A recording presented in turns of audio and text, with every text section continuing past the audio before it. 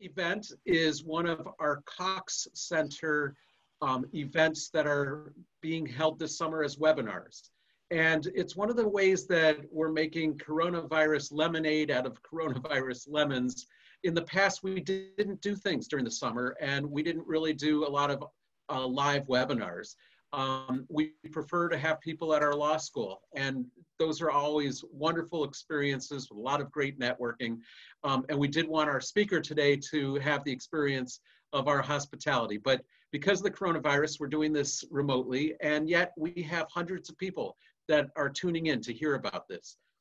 I mentioned that I met our speaker today doing uh, work on piracy. Um, we were asked by the United Nations to help establish piracy courts in Kenya, in Mombasa, in the Seychelles, and then ultimately in Mauritius. And while I was there, I had the great fortune to meet today's speaker, uh, Satyajit Boolell. And Mr. Uh, Boolell was appointed the Director of Public Prosecutions for the country of Mauritius in February 2009. As such, he heads an office with approximately 60 law officers responsible for prosecution services throughout the country. If you haven't been to Mauritius, it's basically for you Americans like the Hawaii in the Indian Ocean. It is an absolutely gorgeous place with wonderful people and, and a great government. Um, now, our speaker today is also the chairman of the Criminal Law Review Committee of the Law Reform Commission.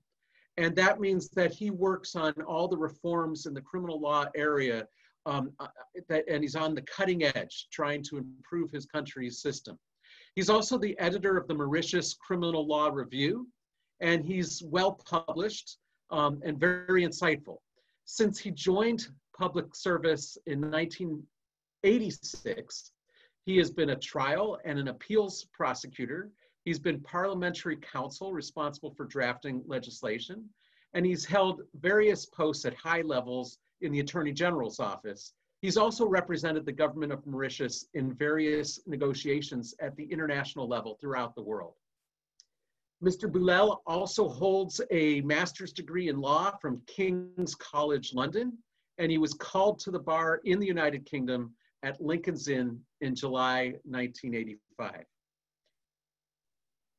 So I first learned of the situation that Mr. Boolell will be speaking about when I wrote a paper about the controversy surrounding the United States base at Diego Garcia, which is um, part of this uh, island chain that we'll be talking about. And I wrote that back in 1982 when I was an undergraduate at Duke University. And I have to say, I'm totally amazed that the issue is still as controversial as it was then, nearly 40 years later. But Satyajit Boolell is an expert on this matter, and we are pleased to have him join us today to give him an update, to, to tell us you know, what's going on, what's in store, and what it means to the United States. So Satyajit, the floor is yours. Thank you, and uh, good afternoon. I am very pleased to, to renew contact with uh, Case Western uh, post confinement. We've just been two two months of confinement, and I'm extremely pleased to say that uh, we are almost COVID free, but we our borders remain closed. Um, I want to thank you personally, Michael, for for this invitation.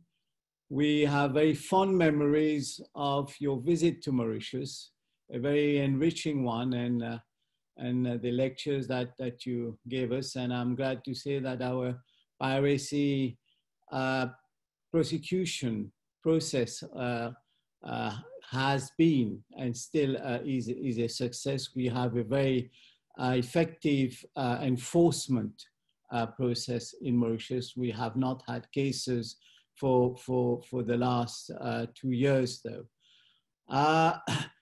let me let me before I I, I uh, start uh, this uh, lecture uh, or talk, uh, perhaps uh, issue the the usual caveat on on this sensitive or as you said controversial topic. The views that I'm about to express are mine and mine alone, and they are based on the available facts uh, insofar as available.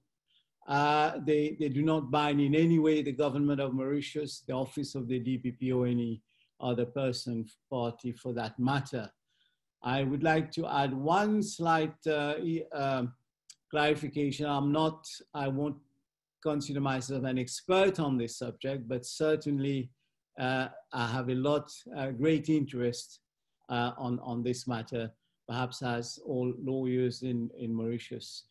Uh, now, uh, let me start by saying that it is almost uh, 55 years since the Chagos archipelago was unlawfully excised from Mauritius, and its, a, its population of some 1,500 islanders deported to the islands of Mauritius and Seychelles in uh, very appalling, inhuman uh, conditions in order to make way for the constructions of uh, a naval and military base on the island of Diego Garcia, as you pointed out.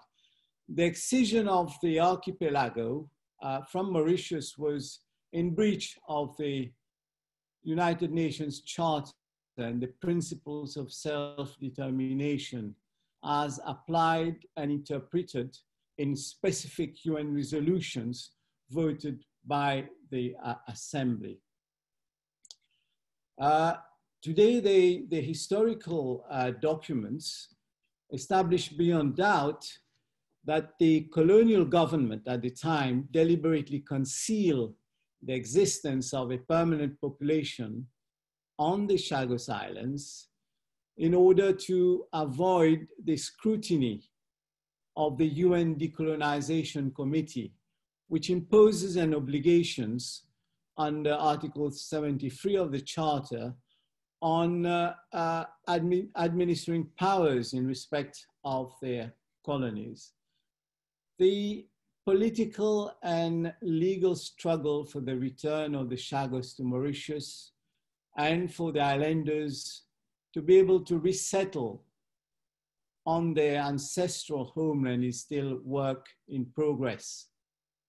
The, the injustice caused to Mauritius and its community of islanders uh, clearly undermines the faith uh, our faith, the faith of humankind in nations that claim to adhere to values of human rights, the rule of law, and justice.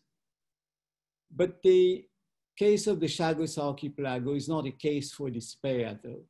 On the contrary, it is one of hope, since Minnow Mauritius has demonstrated to the world and to the African, its African partners that by appealing to the global community and by having recourse to the international institutions under the auspices of the United Nations, there is justice at the end of the tunnel.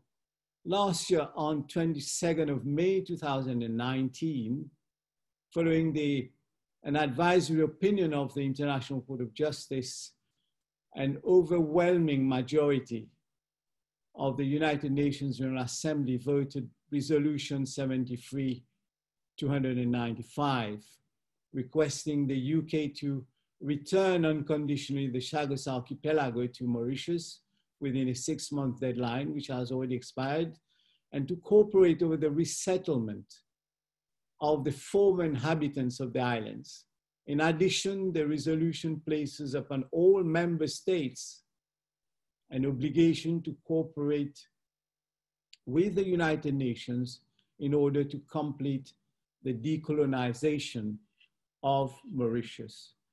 Now, in defiance of this resolution, the United Kingdom reiterated its standards argument that it is in no doubt of its sovereignty over the Chagos archipelago and will cede the archipelago to Mauritius when no longer required for defense purposes.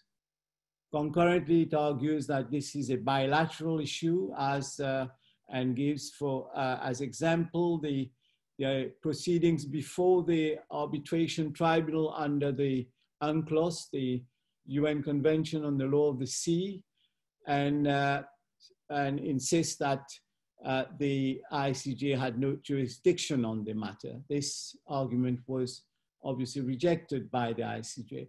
So for, for just to, to go into the, uh, this, the structure of, of this uh, uh, talk, uh, perhaps uh, I will cover very quickly uh, the background to the dispute, the, very briefly the arbitral proceedings before the UNCLOS, La, uh, which gave its uh, ruling May in March 2015, the, uh, the advisory opinion itself uh, before the ICJ, which is uh, the, uh, entitled The Legal Consequences of the Separation of the Chagos Archipelago from Mauritius in 1965.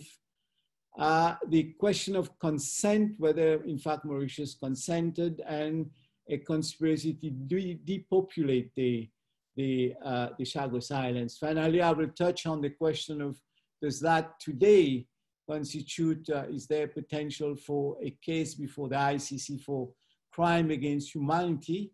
And then, of course, we will uh, perhaps go into the issue which I asked whether the United States doesn't hold the, the key perhaps to, to this issue by complying with Article 73, 295 and see to it that uh, uh, the, uh, there is cooperation for the complete process of decolonization. I must add here that this morning papers I'm reading that the ambassador, uh, Mauritian ambassador to the UN make a, a, a new appeal guaranteeing that uh, the, the continued existence of the, of the base on Diego Garcia uh, with a lease of 99 years. And of course, that Mauritius uh, exercises sovereignty and, uh, and uh, start the process uh, for, for the resettlement of the community of islanders. Can I perhaps ask Eric now to, to put the, the, the, the map of the Indian Ocean so that some of the uh, listeners would be able to uh, quickly get a perspective of uh, the, the islands on the, uh, in the Indian Ocean. As you can see, Mauritius is 800 kilometers east of, uh, of Madagascar. Uh, the, it's, uh, the, the first settlers on Mauritius were the, the Dutch who named it after Prince Maurice van Nassau, Nassau here uh, hence the name of uh, Mauritius. The French took over the island in uh, 1715 and renamed it Ile-de-France. A number of uh, outer islands in the Indian Ocean, including the Chagos archipelago. You will see the Chagos on the northeast of the of the of, of Mauritius, and uh, you, you, can uh, spot the, the Diego Garcia Island. So were claimed, these islands were, were claimed by France and administered from Mauritius. They were always referred to as the dependencies of Mauritius and form part of the territory of Mauritius. In 1810, the, the uh, British conquered the island from, uh, from the French, uh, and uh, this was followed by the Treaty of Paris signed in uh, 1814 when France ceded the Ile-de-France, Mauritius, and all other islands, all other islands, including the Chagos archipelago to the UK colonial power. Uh, Mauritius obtained its independence in 1968 after the Chagos was uh, detached and make way uh, for a military base. Now, the, on the northeast, you will see the Chagos archipelago. Uh, the main islands are, are mentioned, Sa uh, Salomon Island, the Peros Banhos, and the Egmont Islands. There are, uh, the Chagos archipelago is made up of 65, some 65 islands. The most famous one, I've just named them. It is uh, in the, in the uh, middle of the Indian Ocean, flanked on the west uh, by Africa and uh, the Southeast Asia on the east. Diego Garcia is the largest island of the archipelago. Now, of course, site for, for a military, a naval and military base with an area of 27 square kilometers and accounts for more than half of the archipelago total land area. Uh, Mauritius uh, is in the southwest 2,220 uh, kilometer. Now, uh, the, the, sorry, can I, oops.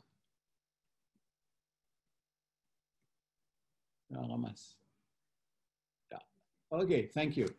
Uh, the in the we know that uh, in the early 60s, at the height of the Cold War, the fearing the uh, arching uh, presence of the of the uh, Soviet Union in the Indian Ocean, uh, the US and the UK entered a secret deal uh, to have a joint naval and military base on the island of Diego Garcia, precisely because of its uh, ideal strategic location.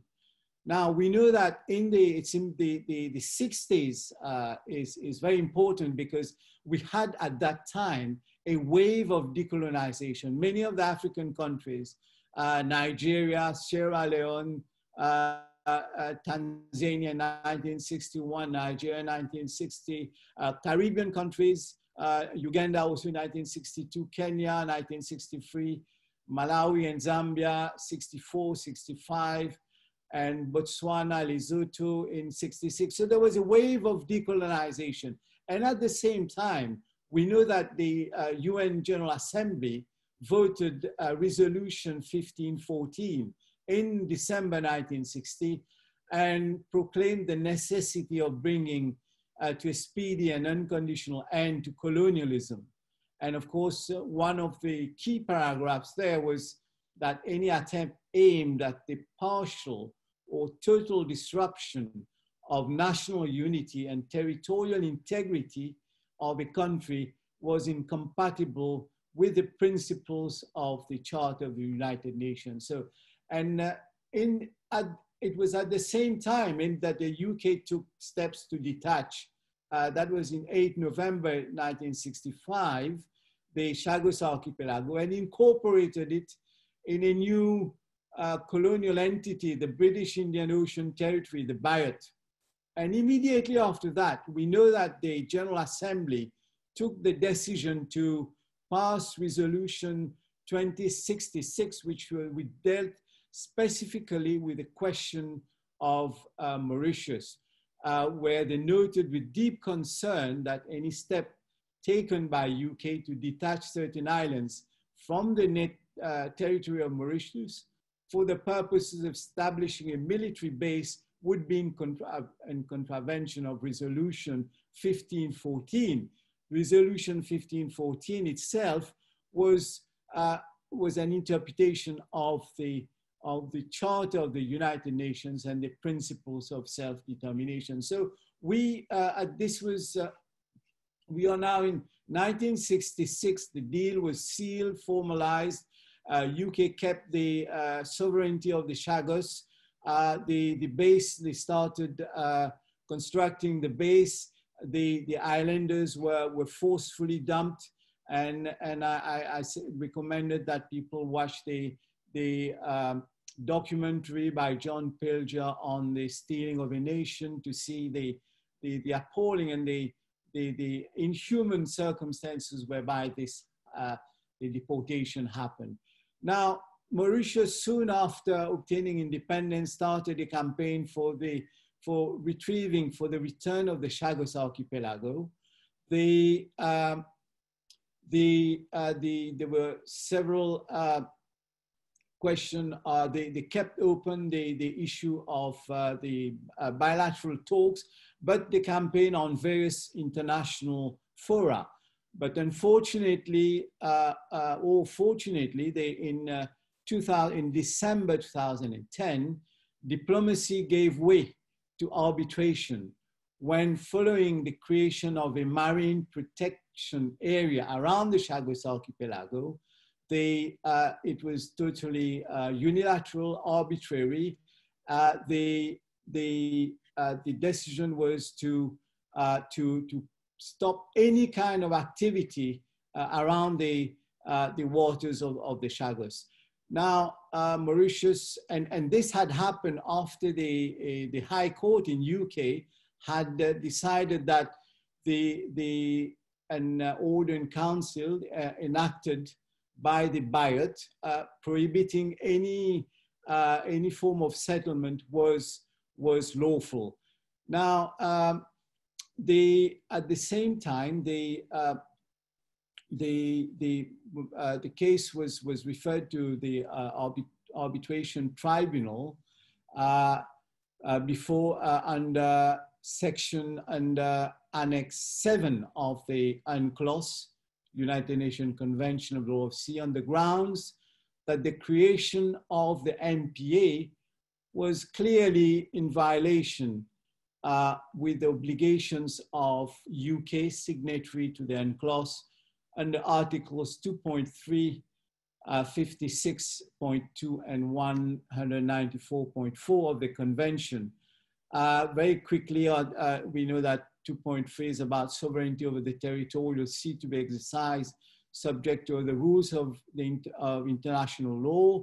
The, the tribunal found there that uh, other rules of international law meant that it was the uh, the general uh, the general rule of international law that the that uh, I will come to this the uh, the undertakings given uh, by by the at the time by UK did not was not did not form part of general rules of international law. But let's let, let, let me come perhaps to the to the to the heart of this case. The cornerstone of the of the Mauritian case was that uh, the, the Lancaster House, uh, Lancaster House after the, the building where, where there were discussions of, uh, for the independence of Mauritius at the time when uh, the, the Mauritian leaders were meeting with the, with the, the English, uh, the, uh, the uh, colonial uh, uh, master at the time. They were negotiating independence. They, and, and this is where the discussions took place in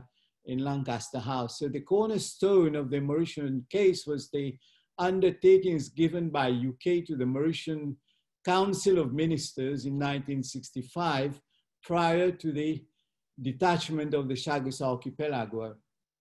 There were clearly documents have clearly shown that uh, there were uh, all kind of tactics to apply pressure on the Mauritian leaders, being given that there was some pro-independence, some against independence, to concede to the detachment, otherwise independence of Mauritius uh, was going to be an issue. We will look at these, uh, at, at, these documents in a while, but suffice to say that the, finally there were undertakings given and agreed by both parties that which included compensation to Mauritius for that detachment.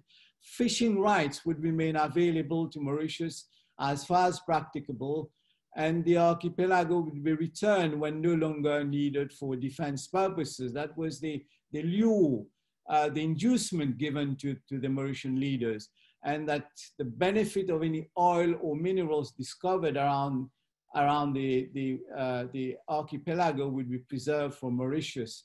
So henceforth, uh, hence the, the, the free limbs uh, under the UNCLOS. But more importantly, I think that uh, the, the just to, to, to cut short, uh, the, the, uh, the tribunal, the, the tribunal was, took, took the approach that there were, uh, there were competing, considering the, the, the, those two, those two articles, that there were competing interests that uh, between the duties uh, of uh, the coastal state, uh, United Kingdom, uh, which uh, exercise the right of the coastal state, and that in, in taking measures to protect the environment on the one hand, and the rights and duties of other states to carry out their activities. whilst there were these competing interests were existed, but it did not, they did not uh, release the United Kingdom from uh, acting in good faith and give due regard to the, to the interest of Mauritius, precisely taking into consideration the Lancaster House undertakings. And one of the main issues was the Mauritius was carrying out traditional fishing in the waters uh, of, of the uh, Chagos archipelago. Uh, in with respect to uh, Article 194, that uh, uh, they, they, they, they, concluded that not only that since fishing was an ongoing activity, they should, that UK should give due regard, with significant regard to these activities. Uh, the tribunal concluded that not only Mauritius was not informed of UK's initiative to create a marine protection area, but its fishing rights in the Chagos waters were interfered with, and its repeated calls for bilateral negotiations were simply ignored. The, the, the, the decision of the tribunal, unfortunately, did not bring the, the parties to, to, the, to around a table, but in fact, the parties met before the International Court of Just, Justice. And following the uh, the, an, an, advisory opinion in uh, which the, on the 22nd of June, the, uh, the UN General Assembly, uh, in accordance with Article 96 of the Charter, adopted Resolution 71292, are asking for an advisory opinion from the ICJ on the following questions. Can I ask Eric, if he, if he can uh, uh, put the, the on the screen so that uh, everybody uh, the two the two questions can uh, can be visible to to the to the audience now. Right. Thank you. The the, the two questions were no doubt uh, craftily and my, drafted to ensure that the that the ICJ would advise on whether decolonization, the decolonization process of Mauritius at the time of independence was complete, an issue which was inextricably linked to the core question of sovereignty of Mauritius over the Chagos and what constituted the entirety of its territory at the time of its independence. The second question related to the consequences of the continued presence and administration of the islands by the United Kingdom and how it affected the resettlement of the Chagos Islanders by, by Mauritius. Now, the International Court of Justice proceeded by first uh, identifying in its analysis the relevant period when the dispute crystallized. In other words, from 1965 onwards, when the archipelago was detached from Mauritius, up to the time when Mauritius achieved independence. That was the 12th uh, March 1968. Once the, uh, once the, uh, the relevant period was identified, the next logical step was to determine uh, the applicable rules of international law in the context of decolonization. And in fact, uh, I, I, uh, and this is, this is important, although the, the, the, the court uh, pointed out that, uh, the, that since the breach was a continuing one, it would be relevant to examine the evolution of customary law from the date until uh, uh, until until the present date. So, uh, given the, the, the flexibility of the customary law. Now, the perhaps it's important to stop here the context of, of, of decolonization because uh, every colonial power, uh, every administering power has a, indeed a duty uh, to grant independence uh, to, to uh, a non-self-governing territory. And, uh, and this, of course, in compliance with the UN uh, Charter and the principles of self-determination. And uh, the principles of self-determination, as, as you would uh, know, that uh, they, they require themselves the, uh, the recognition, they involve the recognition of the relevant unit of self-determination. In other words, the, the territorial integrity of the, of the, colon, of the colony that, uh, that is under administration. So that was the, uh, can I ask uh, Eric to bring, okay, to put this, yes, thank you. And, and, and, and of course, that was the, the, the, at the heart of, of the matter. And that is what resolution 1514 uh, uh, uh, is, is all about. So in order to, to decide that, the, the applicable rules, the, the, the, the tribunal, the, the, the Court of Justice, the ICJ, resorted to a series of resolutions uh, adopted, as I mentioned earlier, in the early 60s. Uh, resolution 1514 uh, which was adopted in December 1960, was the key resolution in the context of decolonization.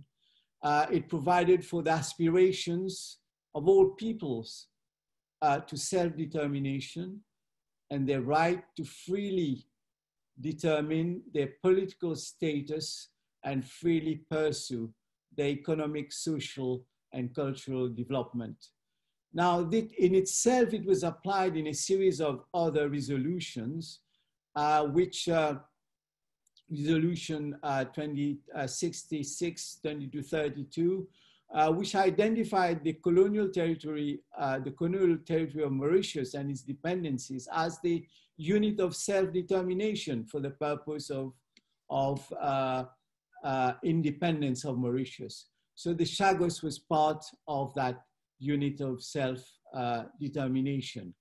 The, the, the resolutions uh, of the ICJ could not they have been adopted uh, by the General Assembly in vain. That, that, that was a, a, an important uh, opinion expressed by the ICJ. Well, there, there was, it, it, could, they could not have been up, uh, adopted in vain. And they referred to the case of the, the uh, the, uh, the nuclear weapons case where the judges of the ICJ had already addressed the relevance of these resolutions and the fact that uh, the resolutions uh, adopted by UNGA would give rise to an opinio uh, juris. Uh, and, and in fact, they, they, they, they stated, I quote, they can, in certain circumstances, provide evidence important for the establishing the existence of the rule or the emergence of an opinio juris. To establish whether this is true of a given General Assembly resolution, it is necessary to look at its content and the conditions of its adoption. It is also necessary to see whether the opinio juris exists as to its normative character. Now, Resolution 1514, of course, provided such evidence. And uh, they, they, they, they, they went further on uh, that uh, it, uh, it, it called uh, paragraph six of that resolution called that any attempt aimed at the total disruption of a national unity and territorial integrity of a country is incompatible, as I pointed, with the purposes and principles of the uh, Charter of the United Nations. That decolonization process accelerated in 1960 with additional 28 non-self-governing territories exercised the right to self-determination and achieved uh, independence. it's clear that you cannot uh, dismember or dismantle the, the, a, a, a, the unit of self-determination, the, the territorial integrity. So in, as I uh, pointed out again earlier, the question of resolution 22 2066, which dealt expressly with the fact that, that they viewed with deep concern steps taken to that this territory of Mauritius was being dismantled for the purposes of a military base and advised and invited the, the administering power to take no such action which would dismember the uh, territory of Mauritius and violates in, its integrity. So uh, the ICJ, the, the, the, the, learned judges of the ICJ also advised that both state practice and opinio juris at the relevant time confirm the customary law character of the right to territorial integrity of non-self-serving uh, territory uh, as, a as a corollary of the right to self-determination. Having confirmed that right amounted to customary international law, the court stated that uh, the right to self-determination of people was defined by reference to the entirety of a self-governing territory.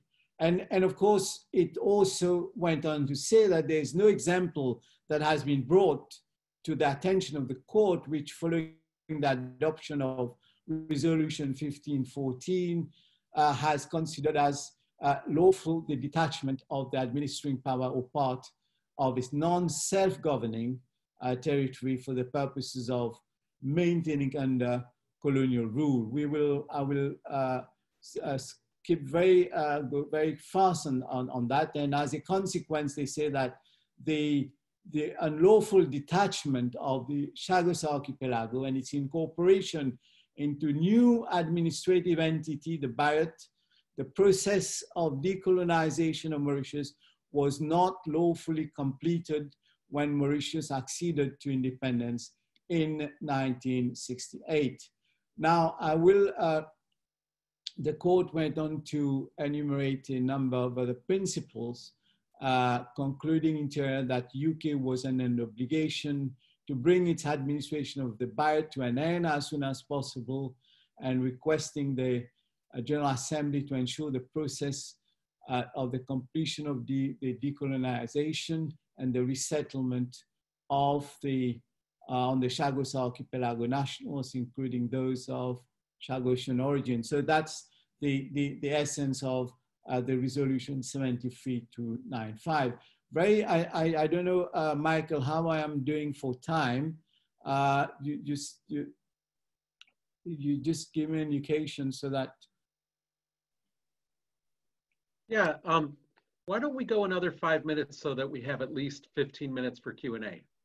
Okay, so uh, very, very quickly, I think on the question of, of consent, uh, even, I mean, the, the argument is even if Mauritius ha has given consent, it was, it could not, the consent would be null and void, the, being given that, that this was, uh, this was, this was totally in violation of, of the charter. And, and in, in the judgment itself, the, the judges relied on the UN Committee of 24, the Committee on Decolonization, which is that when the Council of Ministers agreed in principle to the detachment from Mauritius of the Chagos Archipelago, Mauritius was as a colony under the authority of the United Kingdom. As noted at the time by the Committee of 24, the present constitution of Mauritius does not allow the representatives of the people to exercise real legislative or executive powers, and that authority is nearly all concentrated in the hands of the United Kingdom government and its representatives. So they had in no way they had, they, they had any legal capacity to enter into any agreement to, for the detachment of the, of the Chagos Archipelago, an accusation which was laid at the doorstep of the Mauritian leaders who negotiated independence at the time. So this also, the, uh, the, there was no question of Mauritius having consented. The, the, uh, the detachment, as they said, could not therefore have been based on the free and genuine expression of the will of the people concerned. Now, as I said, I mentioned earlier, there was also um, a, a, deliberate policy to, to conceal the existence of a permanent uh, population on the Chagos Islands. The, the, the, historical documents which have come out uh, from the National Archives after, after 30 years clearly establish the, the, the, the bad faith uh, of, of, the, of the colonial power, the imperial power, and the fact that uh, they've used this deliberate policy of, of deceit and concealment. Uh, from I just very the the the the, the number are the both from the International Court of uh, Justice and from uh, the cases before the High Court in England, they are replete with examples. Let me, let me uh, just give you an example. Uh, uh what, what was said, uh, for instance, they say that our understanding, great majority of these people are contract laborers, and in some cases, their parents and a small number were born.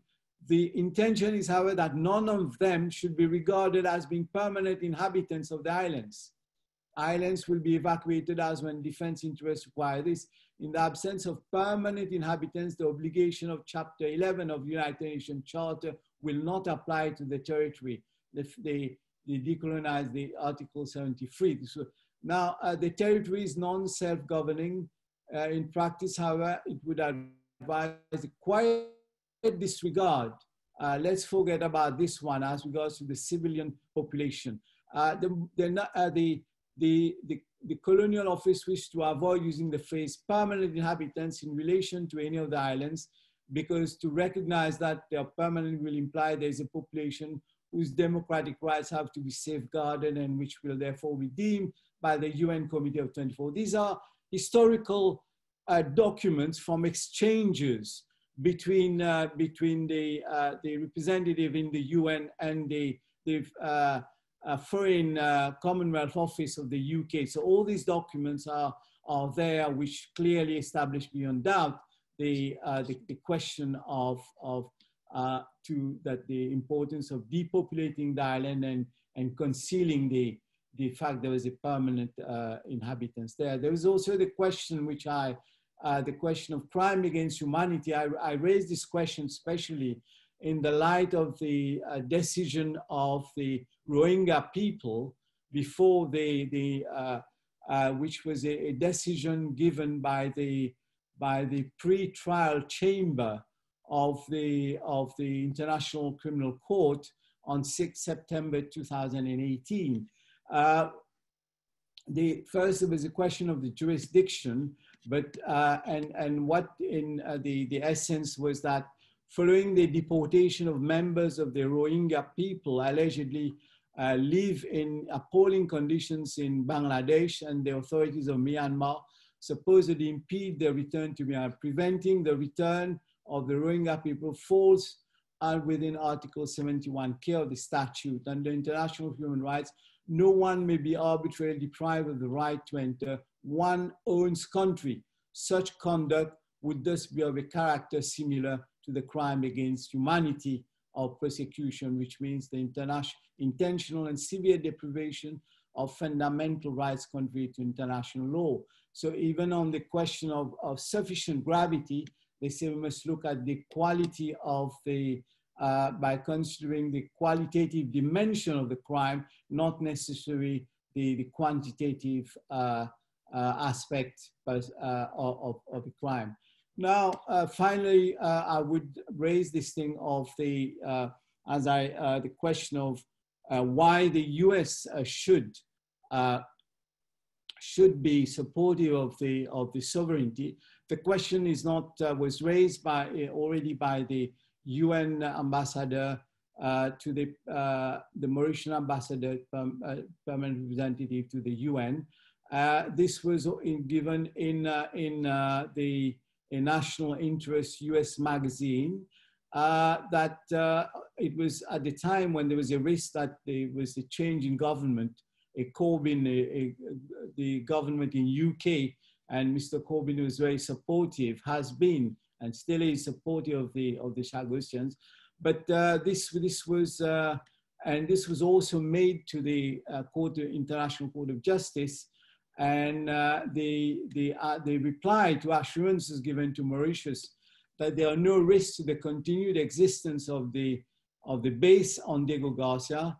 The US made it known that it has no interest in entering into any arrangement with Mauritius to operate its base.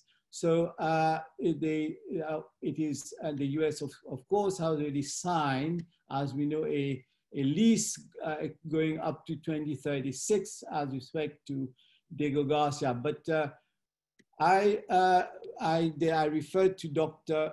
Harris, Robert Harris, an assistant professor uh, of uh, political science at Colorado State uh, University. And he, he argued forcefully for the fact that there should be, the US should be looking towards Port Louis, Mauritius, and, and see for uh, whether there are possibilities of uh, uh, striking a, a, a, in starting bilateral, bilateral talks and, and, and, and entering into a lease agreement uh, as long as Mauritius is, or as since Mauritius in so in as much is guaranteeing the continued existence uh, uh, of the of the base. Now, of course, the the Indo the Indo-Pacific region now is very coveted by both India, China. There are the uh, the, the there's uh, the the U.S. Prob probably prefer to have the, the BIOT uh, shield to to cover its activities, but you know things are changing. They the, the geopolitical ballgame is, is a very dynamic one, it's changing. The UK today faces Brexit and needs the, the support of the, the global community. The, uh, the question of human rights are all uh, issues which, uh, which is very much on the, on the uh, uh, legal landscape. So perhaps these are issues to be, to be, to be put on the table and, and perhaps this is also a, a, a, a solution to this great, uh, apart from the geopolitical aspect, apart from the fact that the uh, peace uh, in the Indian Ocean, there is also this human tragedy, the dimension of uh, uh, islanders who have uh, been deprived of the ancestral homeland. And I think they, the, the world owes it to them to see to it that there's a just solution at the end of the day. I'll stop here. Uh, Michael, I, let's uh, to just uh, give some time to, to uh, for questions and, and, uh, and I'll do my very best to, to animate this. well, Satyajit, let me start by applauding you. That was a wonderful run through of a very complicated case. Um, I'd like to use the uh, chair's prerogative and ask the first question while yeah. other people are starting to uh, insert their questions into the Q&A or the chat. Um, and, I, and let me first of all recognize that there have been questions about the CLE and that um, information will be posted at the very end of the program in about 10 minutes. So yeah. the first question is this. The United States has indicated on a number of occasions how important this military base is to US security. Um, they've even said at one point that it is um, the equivalent of an unsinkable aircraft carrier group. And others have compared it to the importance of Midway during World War II, Midway Islands. I mean, it's, it's important to the United States. So you said that today the ambassador to Mauritius went to the UN and said, we're ready to lease this out for 99 years, like um, Cuba has done with uh, Guantanamo Bay, leasing mm-hmm. to the United States also for 99 years. I'm wondering um, what you think the obstacles might be to the US accepting that deal. Uh, for example, I know that Mauritius um, is part of a nuclear free zone, and the US might not want to uh, confirm or deny whether it has nuclear weapons at its most important military base in the area. How do you think that might play out? Uh, just just one small clarification. The the ambassador made that to to an uh, a forum where this was discussed, but it's all recorded in the papers that it has renewed uh, this proposal to the US.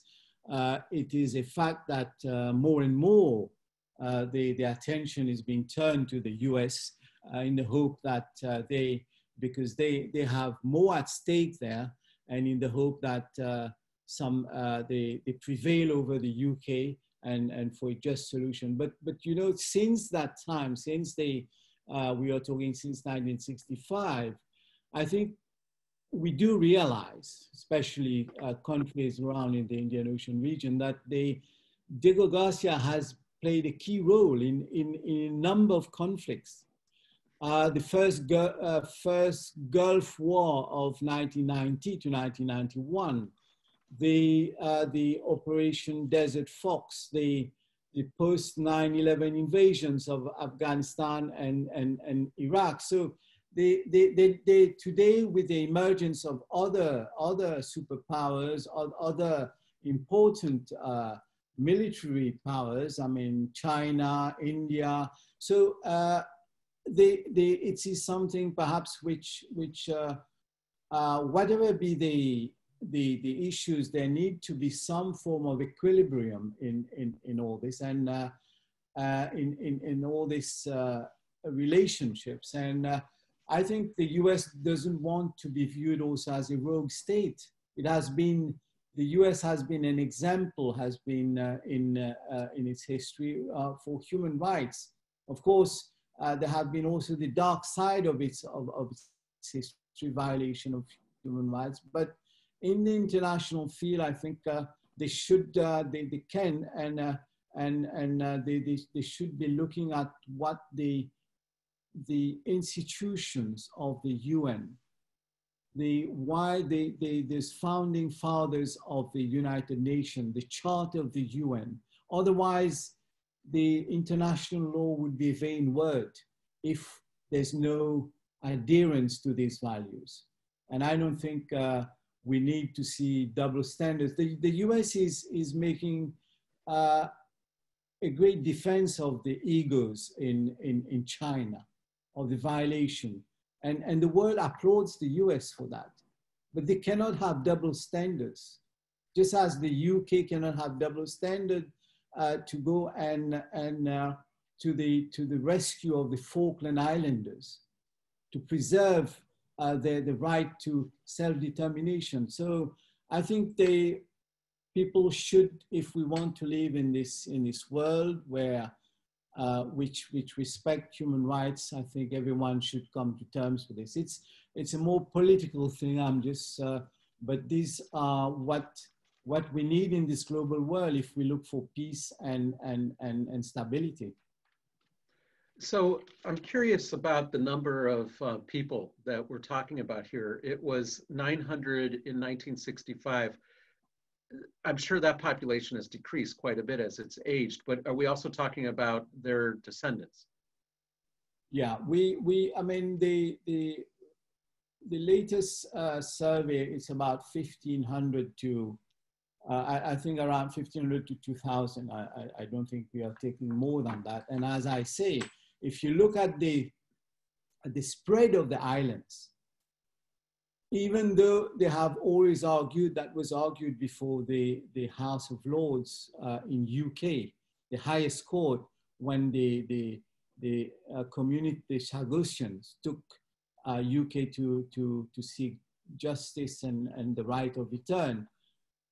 The, the, the US uh, intervened to say that it was a question of they won't want uh, the to undermine the security of the, of the base by allowing resettlement on the other islands. There have been uh, feasibility reports by the, by the government of UK. Where they've come up with questions of uh, security and also uh, that uh, prohibitive, that's very expensive for resettlement, and also the risk to the, to the marine environment. I mean, all these were found to be, to be very poor excuses. The distance of, the, of Peros Banhos and Salomon from Diego Garcia would, cannot in any way put at risk uh, the, the, the, the, uh, the base in Diego Garcia. No, because we have already people from different uh, parts of the world working on, on the base in Diego Garcia. So this, uh, I think, uh, the, we know this cannot go on, this, this policy of, of, uh, of concealment. Uh, I think enough has been said by the highest authority of the UN to, to, to, for the world to understand that uh, if people want to have faith in countries that proclaim to be democratic, who believe in values of freedom and justice and liberty, then uh, uh I think uh, there is not, it's not a very difficult decision. So Satyajit, there's a question that we've received that's really fascinating. Given that um, Diego Garcia is an archipelagic atoll, um, the question is about how the sea level rising might affect the, habit, uh, the habitability of the islands. Well, uh, this this is a very uh, this this this is a very uh, uh, interesting and and a very credible uh, consideration, but the the feasibility and the that was study that was made uh, I think uh, it does not uh, it does not prevent a short-term solution, but it is certainly a consideration. Maldives is facing a similar consideration, but but of course uh, I'm no expert. Uh, I mean, this is a. I agree that this is a, a very, very important consideration, but once all parties sit down and, and, and first of all, we have to agree that this it's the, it's the homeland of the islanders. Once we agree with this, perhaps yes, of course, but we are not there yet. We are not even giving them the right to their ancestral homeland. But I agree this is a very important consideration. I, I wonder what the um, precedent would mean for other countries around the world. Now, I know that an advisory opinion isn't binding on other countries, but nor are ICJ cases generally. Um, but, you know, the narrow confines of this case is basically that where you have a colony with a dependency, you can't just give away the dependency. Essentially, how many other situations are like that around the world where this might apply? well, I, I don't think I can help you with that, uh, uh, Michael. I, I have no, no clue whether this, uh, this, uh, this would be. Um, I, you know, I, I know the, the, all I can tell you, the Italy at one time uh, just decided to annex Ethiopia. I think there's, this an old case about this. And, and you, you, you cannot, uh, you, you simply cannot uh, do, do, do, do such action uh, uh, contrary to the principles of self-determination. And I, I know there's a, but I would not be able to, to help you here. The, I mean, the other place I was thinking of is um, when the United States was experimenting with its nuclear tests in the Pacific, it yes. took a lot of people out of Bikini Atoll in that area and relocated them, and they've never been able to return. Obviously, it's contaminated. Um, but it seems like there's some parallels to this: the right to return, the forcible migration of local and, inhabitants. Yeah, I'm sure. And, and as you see with the with the latest uh, uh, decision uh, on in the Rohingya case, uh, again, there's there's this what is extraordinary that uh, it's a very dynamic process. The, the law is also evolving accordingly. And, and, and, and I think it's, it's going to be a very important uh, precedent on, on, on and, and the, the, it's, it's, a, it's a logical next uh, step as to, as to the, the decision of the ICC, and, and, and you, you can see some parallels there as to the right of return of, of these people to their, the ancestral homeland. Yeah. Uh, especially they, they go back to, to five, five generations.